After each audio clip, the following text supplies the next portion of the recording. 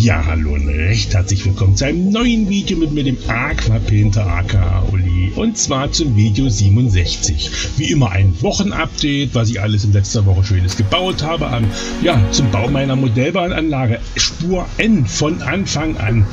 Ähm, die Woche sind wir natürlich dabei bei meinem bei der Vorstellung des Fabrikmoduls, was ich jetzt endlich zu, ich sag mal, 95% fertig habe. Da fehlen noch ein paar Figuren, die ich gerade selber drucke und ein paar Dinge, die ich noch sonst bemalen wollte, wo ich noch ein paar Gedanken dazu hatte. Das kommt aber alles noch. Aber seid gespannt. Ich zeige es euch heute. Ich zeige euch ein paar Aufbauten, wie ich was gemacht habe. Ganz am Anfang komme ich mal auf den LKW zu sprechen von neulich. Und dann wünsche ich euch viel Spaß. Und das Ganze ist wie immer geeignet für Anfänger, für Einsteiger, für Modellbahnfreunde und Kollegen, für alle, die Spaß am Modellbahn haben oder an der Modelleisenbahn haben. Wie gesagt, ich wünsche euch viel, viel Spaß. Und dann würde ich sagen, sehen wir uns gleich wieder.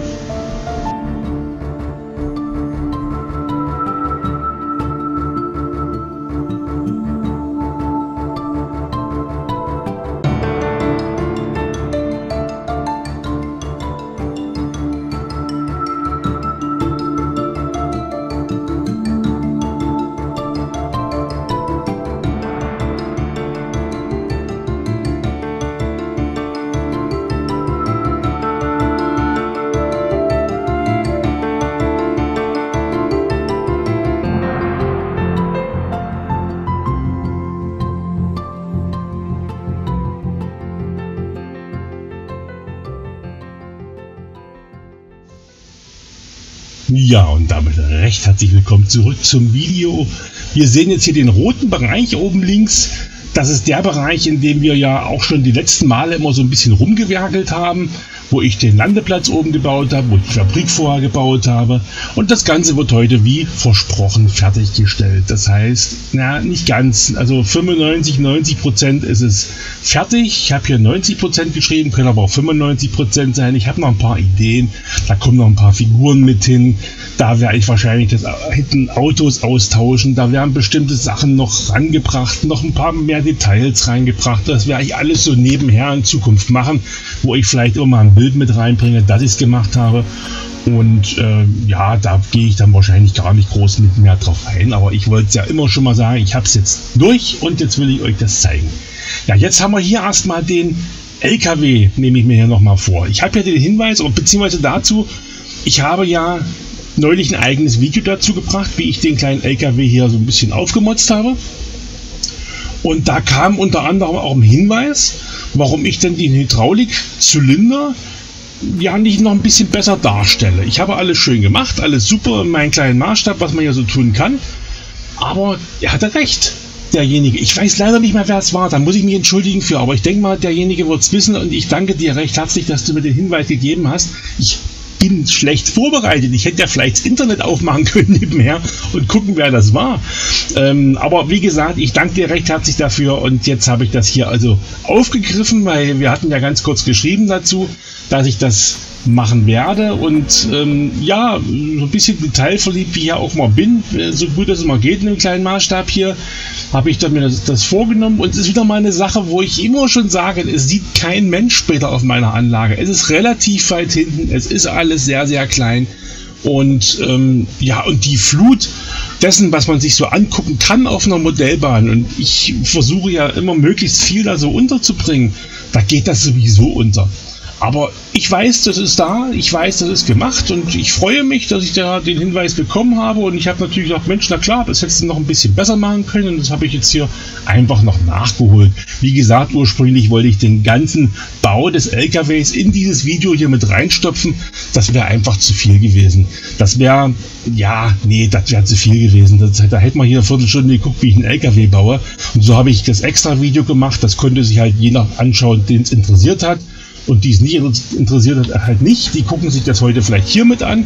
Aber wie gesagt, das ist jetzt einfach nur ein bisschen vorne ans Video rangepackt, hier, dass ich das auch noch gemacht habe, weil ich fand es nett und ich wollte zeigen, dass ich es gemacht habe und nicht bloß äh, einfach machen und hinstellen, sondern ich interessiere mich dafür, wenn jemand Kommentare was Nettes schreibt und dann wird das auch umgesetzt. Das sage ich ja immer schon. Wenn einer Ideen hat, immer rein in die Kommentare. Ich versuche alles aufzugreifen und irgendwo mit umzusetzen. Und in dem Fall den Hydraulikzylinder. Und ich finde, das ist eine recht hübsche Sache geworden. Ist eine ganz einfache Sache. Da ist ja null Hexenwerk dabei, wie ich immer so schön sage. Das ist wirklich bloß dieser kleine Schrumpfschlauch mit einem Metallröhrchen drin, hübsch bemalt. Und es sieht ganz anders aus. Kann ich nicht anders sagen. Es sieht ganz, ganz anders aus durch diesen Hydraulikzylinder. Mein Sohn sagt, du, Papa, das müssen aber mindestens drei sein, die da ineinander fahren. Ich sage nur, lass mal ein bisschen, wie soll das funktionieren? Das wäre dann vielleicht schlecht. Da hätte man aus Papierröllchen irgendwas bauen müssen, aber komm wie gesagt, man sieht es ja einfach nicht. Es ist so, so klein. Und ich habe ihn, wie gesagt, jetzt schon so fertig auf der Anlage stehen. Wir haben es ja eben gesehen und wir werden jetzt immer mal noch Bilder mit reinbekommen, wo das noch im alten Zustand ist. Vielleicht entdeckt es der eine oder andere, weil wir haben ja, wenn wir hier gerade gucken, ist ja doch noch ein ganz anderes Bild, weil hier kein bisschen grün drauf ist. Ich fange ja erst an jetzt hier damit. Und jetzt, ja, jetzt habe ich ja, wie gesagt, den Quarzsand mir äh, genommen, den ich ja auch schon am Zeppelin-Landeplatz oben verwendet habe. Aber wie wir vorhin gesehen haben oder eben gesehen haben, habe ich den mit schwarzer Farbe ein bisschen getränkt und dann schön wieder fein gemacht, weil es ist ein bisschen verklebt dabei. Aber das passt schon recht gut, weil ich fand diesen hellen Sand, den leicht rötlichen Sand, gut leicht rötlich ist er immer noch ein bisschen, naja, wie sagt man so schön, too much, also zu viel für das Ganze jetzt hier. Und so dunkel ist, wirkt das doch schon alles ein bisschen verrotteter, verdreckter, könnte mal einer mit dem Besen langlaufen nach dem Motto. Und ähm, ja, hier sehen wir übrigens auch ein paar Unkrautbäume, ne? so links und rechts mit dran, die ich ja auch schon immer mal verwendet habe, oben beim Bahnhof Doppingen und rechts davon bei der, bei der großen bei der großen Fabrik, die Hintergrundfabrik, wenn ihr euch erinnert. Da habe ich die ja auch schon mit verwendet. Da habe ich die ja damals alle eingefärbt. Und ähm, ja, und die finde ich machen sie immer wieder recht hübsch, weil das doch in, es ist Natur. Und Natur sieht nie so perfekt aus, obwohl die Natur ja perfekt ist, da brauchen wir ja gar nicht zu diskutieren drüber. Aber äh, in ihrer Perfektion finde ich sie herrlich unperfekt. das ist wieder meine Weisheit von Uli. Ähm, ja, jetzt kommt natürlich hier die Grasstreu drauf. Das mache ich ja recht gerne, weil das immer die ganze Sache ein bisschen rund macht. Das kommt übrigens nachher auch im Vordergrund mit rein, da wo die äh, Erdkante vorne an diesen Metallplanken da lang geht. Hinten bei den ähm, kleinen Kessel da rechts, diese zwei, die, die waren widerspenstig, kann ich euch sagen. Die wollten erst gar nicht halten. Jetzt halten sie bombenfest. Und nachdem ich die ja immer dann verklebt habe, die Unkrautbäumchen, dann werden die ja immer noch mit dem, entweder mit dem Wasser-Weißleim-Gemisch oder mit Tiefgrund getränkt auf der Platte selber dann noch und dann sind die richtig schön fest. Das da hinten ist übrigens die verdeckte Weiche, die wir da sehen, die ich ja mit, mit Schotter bemacht habe oder beklebt habe, nicht bemacht habe, Mensch Uli, beklebt habe und die ist wirklich, wie gesagt, man sieht die nur von hier oben. Wenn man vor der Anlage steht, ist die unsichtbar. Ja, hier sehen wir es jetzt da unten, habe ich es auch noch ran gemacht. Genau diese Erde meinte ich als, als Kante so, als, als, als Böschung, weiß nicht, wie man das nennen will jetzt da vorne, wo so ein bisschen nochmal äh, ein bisschen schräger hochgeht und hier natürlich wieder meine meine, ähm, na, was ist Islandmoos? Jetzt war mir fast das Wort entfallen. Mein Islandmoos, die Köpfe, die Islandmoos-Köpfe, die setze ich wahnsinnig gerne rein, auch wenn die ein bisschen widerspenstig sind, wie man sieht. Wenn man die so hinpappt, dann, dann machen, dann dehnen die sich immer wieder so aus, dann werden die immer wieder groß und die will ich ein bisschen dichter haben.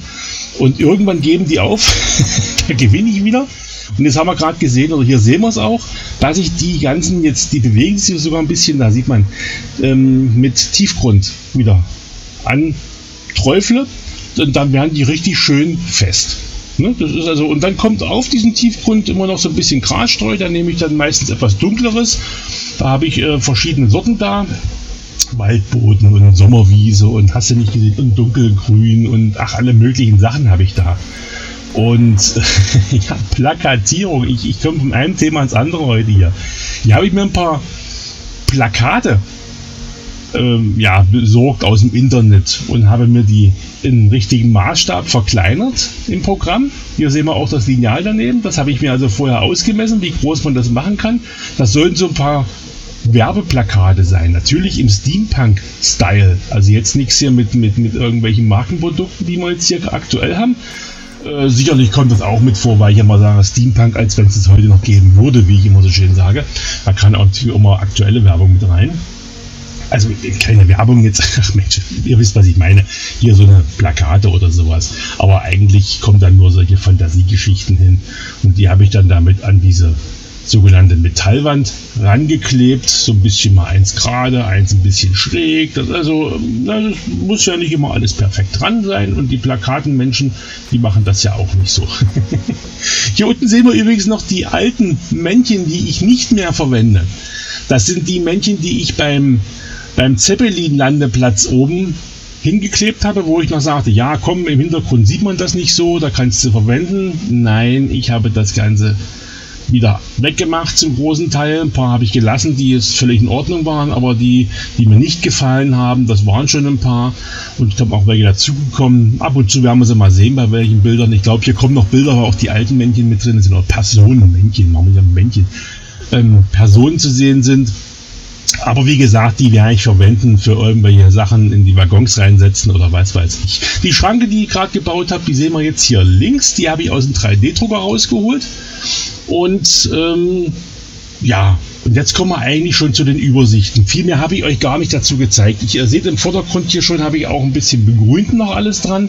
Da habe ich so ein bisschen wie ja, Bewuchs so an der Wand lang hochgemacht und, und das Plakat da ein bisschen drumherum und so, dass wir dann alles irgendwo ein bisschen ja, eingewachsen haben, ein bisschen verwachsen haben. Da kommt mit Sicherheit noch dies oder jenes mit dazu. Wie gesagt, was hier noch fehlt, sind ein paar Personen, ein paar sogenannte Assets. Also ich werde noch ein paar Sachen hinstellen. Schubkarre habe ich schon gedruckt. Ich habe mir einen neuen Drucker gekauft, einen neuen 3D-Drucker, so einen SLA-Drucker. Da komme ich auch mal in einem anderen Video noch drauf, wo ich also noch viel kleinere Sachen und viel sauberere äh, Drucke mitmachen kann, als mit dem 3D-Drucker mit dem Filament, den ich hier habe. Für größere Sachen wie für die Brücken oder für irgendwas anderes werde ich natürlich immer den Filamentdrucker benutzen. Ansonsten kommt der neue Drucker dann für kleinere Dinge zum Tragen. Da werden eben viele Sachen, die hier doch recht grob sind, weil ja das gar nicht anders geht von der Technik her. Ähm, natürlich mit dem neuen Drucker machen, aber so wie die Schornsteine, die ich hier gedruckt habe, das ist völlig in Ordnung, das kann man so lassen, das passt schon, die Fabrik, das ist in Ordnung, das kann man so lassen. Da kommen noch viele Kleinigkeiten dazu, die vergammelten äh, äh Abzüge da, die finde ich immer wieder super, wo das dann so blitzelt, äh, so, so, so na, äh, Leuche drin, das, äh, die fand ich immer sehr hübsch. Ähm, ja, und wie gesagt, da kommt noch vieles noch mit dazu, was ich so habe. Hier sieht man die alten Figuren übrigens oben noch mit drin. Die sind eben jetzt zum großen Teil ersetzt. Und ich kann auch Figuren mir jetzt selber drucken und da muss ich mal gucken, da muss ich ja welche erstellen und das ist bestimmt gar nicht so einfach.